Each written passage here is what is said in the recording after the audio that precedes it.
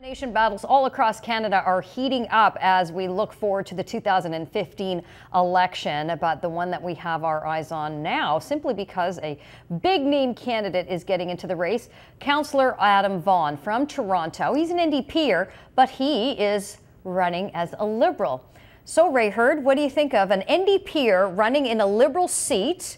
Where the yeah. Trudeau and his ilk wouldn't allow a liberal to run in that seat. Yeah. Make some sense of this for me. And it was a woman liberal, and they did it to her because her husband is alleged to have done something. So, for the first time in Canadian history, a female would be candidate is punished for something that a spouse or boyfriend might have done. But mm-hmm. getting back to the point, the reason this is such an important by election mm-hmm. for the people in the rest of Canada who watch Sun News is this is Olivia Chow's riding. Yes, it is. This is it's, the one she left, Trinity Spadina, to go run to be mayor of Toronto. And yeah. it's downtown, and the two candidates, uh, Adam Vaughan, who's a very uh, left wing, very uh, not particularly lovable character, and Joe Cressy, who's 29, who has been a Sun News contributor, mm -hmm. who is the official socialist candidate. Mm -hmm. This is going to be a, a fight at the OK Corral. This reminds me of the race that between Chrystia Freeland and the NDPer, uh, Linda McQuaig. Yeah,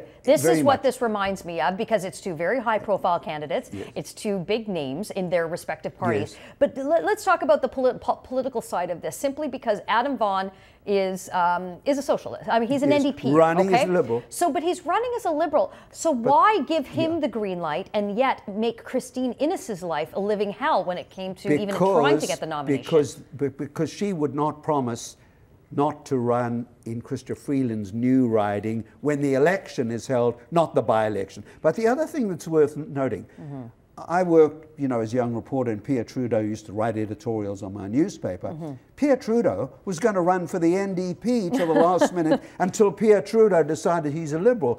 So there have been cases. The Liberal Party, whether you like it or not, campaigns from the left, mm -hmm. and it often, as Paul Martin did, governs from the right. So this is not to be unexpected. But the real story here, which is why it's a national story, is simple.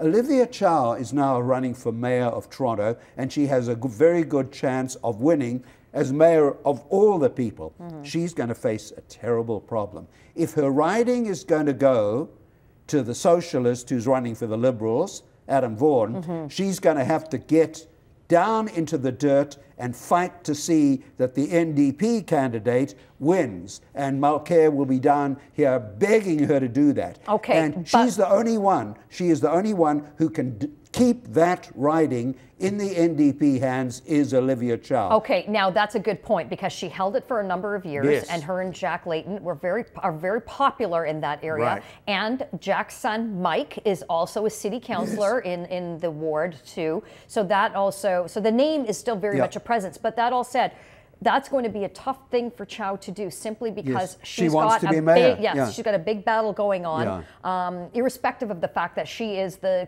you know the, yeah. this considered the front runner. Um, still, it's going to be a big fight to get the mayor's chair. She doesn't want to be distracted no. by a by-election.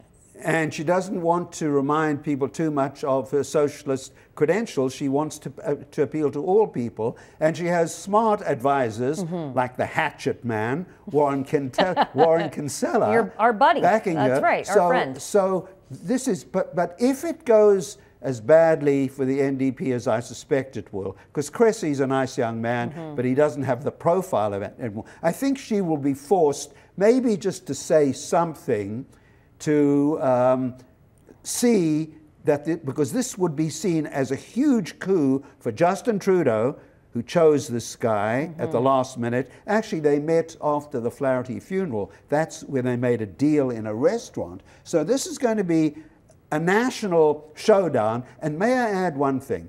It shows that Justin Trudeau for once has been smart. Mm-hmm. Justin Trudeau's enemy is not Stephen mm-hmm. Harper. Justin Trudeau's enemy is Mulcair and the NDP. So if he wins this, through Adam Vaughan, who is a crypto socialist, mm-hmm. this will be perceived by the national media as a coup for Justin to show that he yeah. is going to replace, at the very least, he replaces Mulcair as leader of the opposition and possibly becomes the next prime minister of Canada. Okay, I worked with Adam Vaughan when I was yes. at City Hall. I'm familiar with his work. Uh, mm. He is very passionate about what he believes is the mm. way of the world mm. and how it should work. I, yes. I, I, don't question that.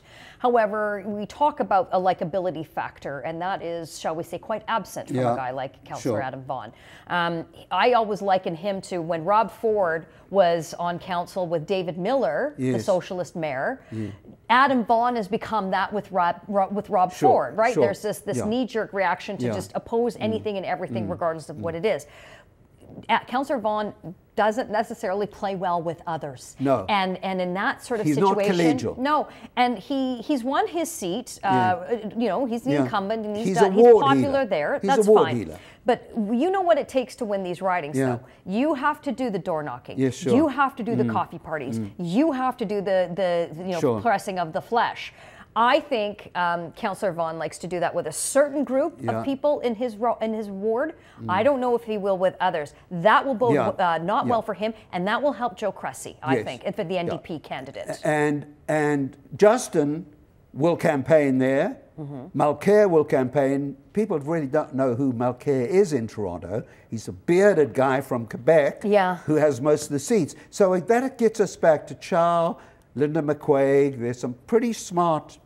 I would involve people like Linda McQuaig, um, who is way to the left, probably of Stalin, but um, involve them to get out the troops in the election. And I hope Sun News viewers realize that you and I are not just being parochial now. this right. is a national story. No, no, it truly is. Um, I will say one thing about Councillor Vaughan in this, persp- in this particular instance under the current rules, you don't actually have to resign your seat no, as a councillor to I run for a higher level of office. To his credit, he is um, once the by-election is called, he will not be seeking re-election on October 27th. Oh, so, won't. and to his credit, I, so he's not looking for no. an escape hatch here. No. But let's just, for argument's sake, let's play this out to um, to the by to a by-election. Mm-hmm.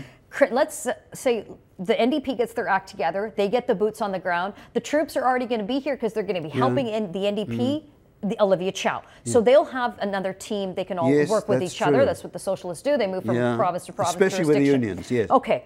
So let's say Cressy takes it. Mm. What does that say about Justin Trudeau?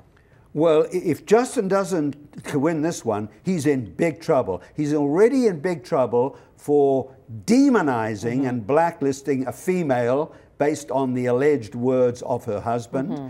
And he's done it all the time. He parachutes people in. He says he believes in democracy and free choice, and he doesn't practice what he preaches. Mm-hmm. So if he loses this, it is a huge victory for the NDP. And if I were running the NDP campaign mm-hmm. now, I would say, look, we don't have a chance. Okay. We're in real trouble. Yeah. This is going to be, we've got Justin Trudeau, the blah, blah, and make it appear because nothing gets people to vote more, true believers, than if you tell them it's going to be hard. So too much confidence is the worst thing you can do in Canadian politics. And there will be a faction within the Liberal Party that is in that riding association that is going to make the point over yes. and over again that the leader's office and the party trumped the local yeah. riding association. Strong on them. They yeah. voted against Justin, and they will probably support the NDP mm-hmm. out of sheer frustration and anger. And as I said earlier, it's worth saying again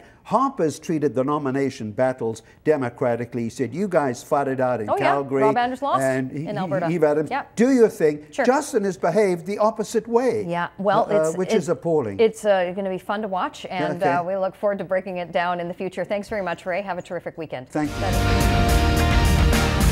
you.